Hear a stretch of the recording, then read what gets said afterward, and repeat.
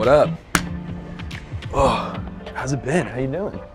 Dude, just on that Tinder grind, bro. Hey, how's it going? Hey, Hello. can you hear me? Hey, how's it going? Yo. Hi. Yeah? Yeah. You meet a lot of girls? Um, quite a few. Yeah, I've been going through. Uh, I've been using Passport. Have you heard of that? Yeah. I've been going around the entire country with uh, Tinder passport. Um, met some really interesting girls, really some cool people, and I think that there's a few of them I, I might take it to the next level with uh, a date, a video chat date, but a date.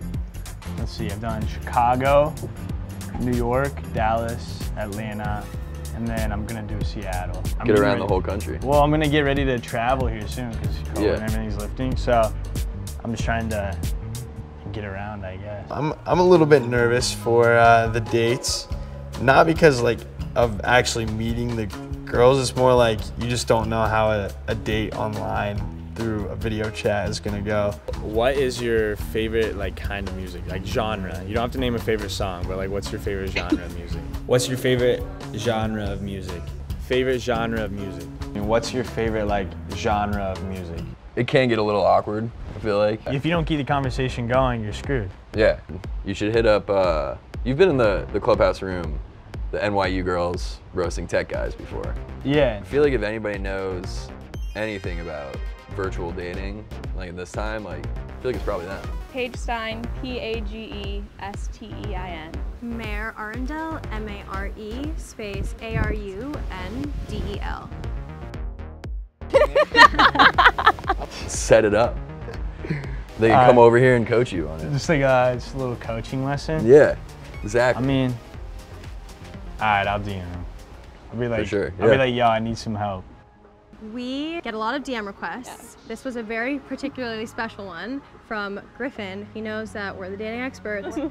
What's a dating expert? I think we can qualify ourselves as dating experts because we're young, we're in the dating scene right now. Yeah. And we see so many dates facilitated on our clubhouse show Yep. that we kind of know what works and what doesn't. I was kind of telling you guys, like, I've been looking around at other Yeah. places, um, and I've been using like, I just got on Tinder, like Passport, just going Yeah. different areas. But it's like a weird dynamic because the pandemic, we've been in, literally in it for a year now. Yeah. So I was talking to Nick, and I was just kind of wondering, like, how do you set that up? Like, what's what's not weird and what is weird? Like, are you supposed to eat? Are you supposed to just talk? Are you supposed to like chill and vibe? I had gone like right after quarantine hit. I was at home with my parents. I had been on a couple dates with this girl. It was great. We did a Zoom date, and it was I was like, this is gonna be so awkward, even though I knew her.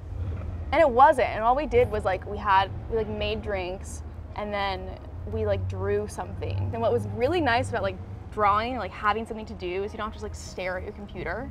Right, because that's is- the that's the biggest thing. Yeah, you're just like sitting there staring at to it. feels like like an activity meeting. to like talk about too. Yeah, and, have an yeah. activity, and then you like we like showed each other what we drew at the end, and it was hilarious because they were bad. First off, how do you keep it from being awkward? So Yeah. it's like for me, my strategy and what I thought would be best is just make sure the conversation's always going. Mm-hmm. Yeah. Because the second you have the awkward like pause, it's kind of like Yeah. you know then you Vibe have is the, immediately lost. the weird Yeah. the weird laugh and then the vibe is weird Yeah. and then you like have to struggle to think of something to ask That's the worst. and it just throws it off. Can you hear me? Yeah, I I think like when people don't ask questions, like and they kind of only talk about themselves, that's kind of like a deal breaker for me. Oh, my bad. Are you trying to tell me something? I feel like you're so more like settled down than me. You're like over here, like, yeah, I got my life together. I feel like my life's so much like it's so crazy right now. I kind of want to take some notes from you. Sure, I'll give you my advi- advice. I don't know. It's it's the calm that it hides the crazy. Griffin's doing okay. He needs to maybe be a little bit more, have fun with it more. Yeah. He's definitely on the right path. Yeah. Just a few little tweaks to make everything better. Course corrections. Hey, this is a random question actually, but I just thought of it because um, one of the dogs is next to me. But are you a dog person? I love dogs. Oh, I love German. So I always have to ask. I always have to ask. Obviously, like if I said no, you like that's such a deal breaker in my opinion.